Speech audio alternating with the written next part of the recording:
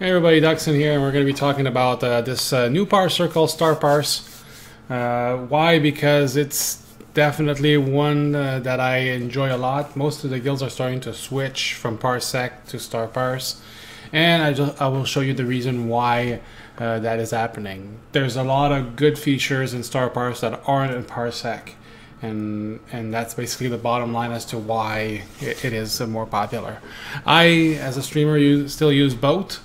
I enjoy Parsec because the numbers are really big. I can actually, uh, when I stream, it really is not making uh, anybody indifferent as to uh, what are the numbers. As far as Star Parse, it seems like I have to blow it up so big that it takes too much of my screen to make it look just as big as uh, Parsec. So I tend to have both on, but I stream with Parsec uh, and then I actually analyze my DPS with Star Parse. So here's Star Parse, and again, there's a lot of things that are very similar to Parsec, and I think that's also partly why Star Parse is such a, a, good one, is because it's not that hard to adapt yourself from going to from one to the other. So we start with file. We have the open log, so it automatically will go to the default where where you you have uh, your uh, combat uh, log files. Again, you gotta make sure that you go into your uh, preferences under combat logging and enable your combat logging. If that is not enabled, you will not get anything going. Nothing will work as far as parse parsing. Period. The only yeah, that's it. So you gotta make sure you get those files, so, and then they're all usually in the document in your uh, documents under uh, Star Wars: The Old Republic combat logs, right beside where your screenshots are. And then you go if if let's say you just did something and you you think it's too late as long as you enable combat logging you can go all the way down to the bottom and then that's the latest file that you used. And then in this case if I use that method then it's going to load up whatever the last thing I did. And then it's going to give me the data again there's all kind of, you can go to the overview which is the one that I actually enjoy the most. It really like right now it doesn't show you much because it wasn't very long but like if you if you do the test that most people do which is the uh, million hp dummy which i'll show you guys how to do in a uh, later uh, video. But anyways here like you just basically have an idea of what you're doing as far as that's that's your uh, dps curve and that is your ability damage curve. So and i like that that they're both uh, separated but at the same time going on the same uh, chart so you actually can see uh, if your abilities uh, hit very well. You can also see if you, there's areas where your DPS is, is dipping, and if and if it is, then you can try to realize. Well, not realize, but try to see what you can do about uh, you know. Uh, making it better, or you can embrace the fact that certain areas you won't be able to DPS as much. Therefore, you want to maximize in the areas where you can. You want to do even more damage than you uh, normally are which means usually like try to use your cooldowns in the right spot so that you can use them uh, full like full capacity. Not like a good example would be like. Uh, uh, Underlurker, where you, you pop all your cooldowns and then you just have to go behind a rock and wait for five seconds, which you lose a ton of time. Uh, that, that is called uh, DPS time, right? So, so try to use your cooldowns to your advantage, not to your disadvantage, right? So that helps you analyze that a little bit or, or on top of other things, right? Uh, damage, again, I was I was wailing on the operation training dummy, and then it just gives me the stats, the stuff that I've done. Healing, I didn't do any healing. The damage taken, I didn't take damage because the dummy doesn't hit you back. Thank God. Uh, and here is combat log, which is really nice because it shows you if you uh, if you actually want to look into uh, deeper into things, you can actually see your actual rotation and then you can match it against somebody else's rotation and you can see where you're doing better or worse than others. Also, there's other websites like Torparse and Parsely which will show you like the top dogs, like all the, the really high end guilds all go there because they want to uh, compare themselves with other people. And then that uh, not just from your guild right? From everybody. And then we could like if you go on there there's a top parse for a million point dummy which I'll, I'll show you how to do the, the million point uh, test dummy later on. But like the the the top guy right now is 5.6 uh, k DPS which is insane on uh well, it's the equivalent to assault specialist for co- commandos, uh, uh, obviously on a uh, uh, Merc. A Merc, I think it's called IO, whatever IO stands for. Uh, something ordnance, I think. Anyway, so you can actually completely see their entire rotation for the entire time that the dummy is up. And then after you can realize, okay, what do they do at the beginning of the fight? Uh, what do they do at the end of the fight if there's such thing like a, you know, like a, you know, below thirty percent you hit harder or certain abilities are enabled, like a, like a guardian or a, sentinel can uh, can have, right? So all these things are mashed together, and then they you can actually see it all, and that's why I, Star not just on its own, but with other uh, things like Parsely can really uh, increase your damage overall or your knowledge of your spec or uh, not your spec but your rotation and so on. Uh, so and then raid. Raid would be better obviously if there was other people with us, uh, but in this case there wasn't. It was just me firing at it. But I could go back into parses from yesterday, and I'm pretty sure I would find this stuff when we were raiding, and you would see a bunch of people there as well. So again, that's just we were just here opening log files, right? Or you can open the recent ones that you've done, and then you can also go in settings. Settings in the general tab here is just basically the path to go to uh, your combat logs. If you want to move your combat logs somewhere else, then make sure that you fix it because if not, when you open log, it's going to go to that default that you had set up and it's not going to be there, right? So make sure that if you change it, you change it in here as well. Uh, then after that, raid groups. Raid groups is this is where you create raid groups. Very very simple. Uh, so you basically put your your name, whatever the name of the group you want to create, Balmora, and that's uh, it's a K, just to have something else in there, and then I don't know cookies, whatever you want to put in there for password, and then if you're creating the thing because it's not already up there, then put another password for admin, and I put cookies again. Then I create the new group and then there we go. It was successfully created. It's here. Now everybody that all i need to tell people that want that, that i want in there is the obviously the name and password and when they what they have to do is come back to that same window raid groups under your settings and then type balmora k and cookies in here and then join the group.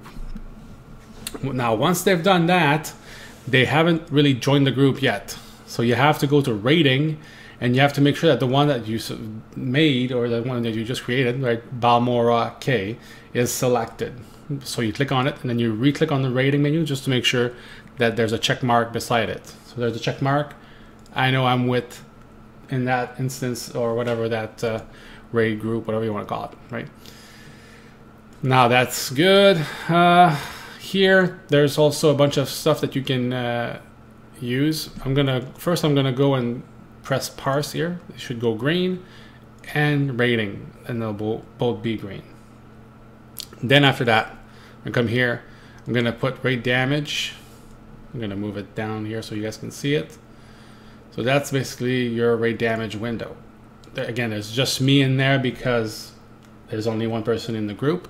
But if everybody else had star parse in your guild, and they all uh, wanted to you wanted to see their damage to see how they're doing you can all, all you got to do is download this thing enable their combat logging again in the game uh, under preferences combat logging and then after that once they've done that and they've joined your group then as soon as they start dpsing and you're in the same instance you're going to see people everybody else's damage as well and anything as well like i said you get the combat log their combat log as well so you can see where their areas of weaknesses are if you know the class. If not, then you can research it and help them out or whatever. Again, it's a tool to. A, a lot of people see parsers as uh, evil, and I think it's just there to help out. And if you don't want to help, get help, then obviously you don't care about anything really. Because if you cared about your raid team that's in there wiping over and over again because you have no damage, example, right? then that would that would that wouldn't be an issue if you actually tried to fix it. But if you're not going to try to fix it, I think I think it's it's a pretty telltale sign for people that are weak sauce and don't want to fix their stuff. This is a really easy tool to use, and it tells you a shit ton of things without having to to uh, for, per se be a pro. I don't call myself a pro at all. I don't even parse for 4K, which seems to be like the easiest thing to do in my guild. But then again, as soon as we get into combat, like everybody else, uh, at least half of those people, if not more, that are 4K above on the dummy drops below me. So I'm not. I don't feel so bad. But again, it goes without saying that you do learn a lot from hitting a dummy. Allows you to uh, figure out what your optimal rotation is when you have all the time in the world and don't have to move. Now, but again, what we know once we have to move, that all hits. The whole goes out the window. So, for most people, I should say. Okay, so again, that, that's the damage window. I'm gonna add uh, the uh, combat timer one, and there it is. So, and then we're gonna go to the next part, which is the timers. So uh, timers, you just select settings, and then you can create any timers you want. Anything. It could be a timer boss related. Some of them are already in the game, which is really neat. Like you can go and select a bunch of bosses. Let's say Nefra. Anyways, again, it's all the and then that that uh, I don't mine are not uh, sorry mine are not uh, boss related, but I know there are some already set up for bosses that you can pick up. I'm sure uh, uh, Bulo probably has one or Sword Squadron with the uh, shields and all that stuff. Like you can set up some some really good timers for yourself. Now let's say the one that I use it the most for is for those uh, the, the, dots right on, on my spec. So I, I use incendiary round and as soon as I use it I have a dot that, that is applied to the target for 18 seconds. So what I do I create a, a, timer. I call it incendiary round, right? Because that's what it's related to. Trigger. What's triggering it is the ability activated, right? As soon as I activate incendiary round, that that 18 seconds of uh, pain uh, uh, dots appear, and that's when I want my timer to start, right?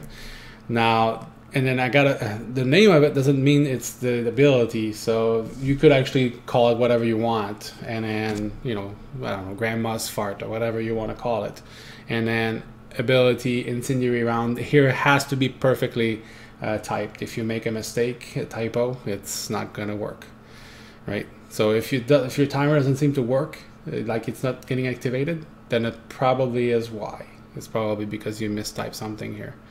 Duration, I put 17 seconds because I want like that one second buffer that gives me that time to, okay, I just heard it, fuck, I'm in mid cast, I'm not gonna cancel my cast.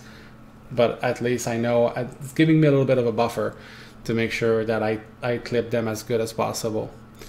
Uh, cancel uh, when combat's finished. So if let's say you you hit the target uh, with your incendiary round and it dies, and then there's still 10 seconds left before uh, the 18 seconds goes away. Well, if you got out of combat and killed it, it's not gonna say uh, what because it, it basically makes a sound or it can make a sound. Let's go there. Display is just what it's going to show uh, here. It's going to show in red, uh, so you can change the color of whatever you want it to show into your timer. Uh, uh little chummy over here. Uh, sound, like I was saying, as so every time that you get through the 17 seconds with the incendiary round, it's going to make a sound if you want it to. And then here are some of the sounds they give you. They're MP3s, and again, you can download a shit ton of them on the internet to tailor made to whatever you want them to be. And what I like the most is that with Parsec, uh, it's not like that, but with this one, it is. You can actually set the volume. So they don't have to be super fucking loud, and that was the problem with the Parsec. All of them were cranked to the fucking floor, and I don't want to play with my sound as uh, I'm streaming. Things I want the things to stay the same, but I don't want my ears to bleed because I'm putting a, a sound file that's uh, that's too loud. And again, all of them sounded too loud except Otini was the only one that I thought was decent on Parsec.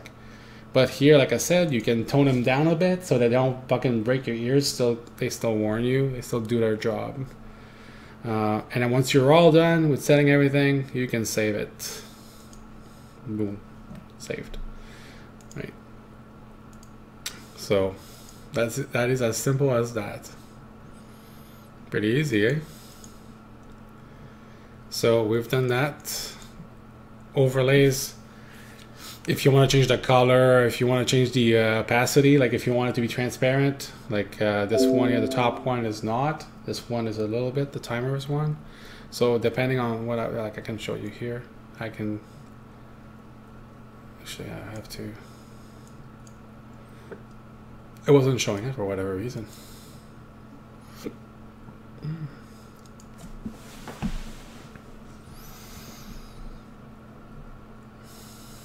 Oh, it's that one. Sorry. So now you can see down here, timer is uh, behind it. That's a little light gray, which is my uh, that's my uh, background. Here it's completely black. So depending on what you want, right, you can select. They have defaulted it at, at 60, so it's not completely black. You can see through a little bit. But again, it's all depending on what you like. So that's all that is here is just uh, customization of your overlays. So that's basically it for that part, really. So again, what you got to do before you start this whole thing, make sure that again combat logging is enabled into your game. Check whatever group that you want to be part of, and then green light, green light with parsing and rating. And once that's done, then we're gonna go and move over to the game itself. Doo -doo -doo, and I'm gonna move this here so that you guys can see it. Oops. There you go. And I'm to bring my game back up. There you go. I could also put, I had more initially, that's why that, that uh, rectangle is humongous right now. But, uh, yeah, the I would have made it smaller. So I, am going to start right off the bat and I'm going to use incendiary round and you're going to see, just look for the timers, you'll see it'll, it should kick in. I haven't seen it yet. There you go. But you can see though that it didn't like show up right away, uh, like at 18 seconds. So now see, I'm, I just reapplied mine. It's a trap! Somehow though the timer doesn't seem right. We'll see in a second.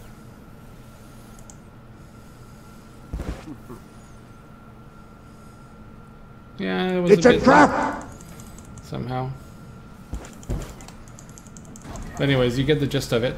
It gives you a timer here that I kind of like now. I don't know. I might I might use it a little bit more than I used to. It's a trap! and then you have your damage at the top. And it's that simple, guys. And again, if there was other people in that raid group DPSing, that would get all get populated, give you a, a list from top to bottom, best DPS to uh, worst. And yeah. It's a trap! So there you have it, guys. Thanks for watching, and I'll see you guys next time.